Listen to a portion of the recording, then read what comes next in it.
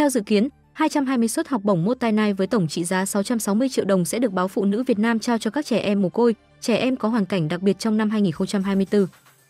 Theo đó, từ tháng 9 đến hết năm 2024, báo Phụ nữ Việt Nam sẽ trích từ chương trình Mốt Tai Nai trao yêu thương, nhận hạnh phúc để trao 220 suất học bổng Mốt Tai Nai với tổng trị giá 660 triệu đồng cho các trẻ em mồ côi, trẻ em có hoàn cảnh đặc biệt tại các tỉnh, thành phố Hà Nội, Hải Phòng, Thành phố Hồ Chí Minh, Hưng Yên, Vĩnh Long, Thanh Hóa, Quảng Trị, Bình Dương, Long An, Bắc Ninh, Quảng Ninh, Yên Bái, Lào Cai, Thái Nguyên, Phú Thọ và Ban Phụ nữ Quân đội, trẻ nhiễm HIV đang được chăm sóc tại cơ sở cai nghiện số 2 Hà Nội, huyện Ba Vì, Hà Nội.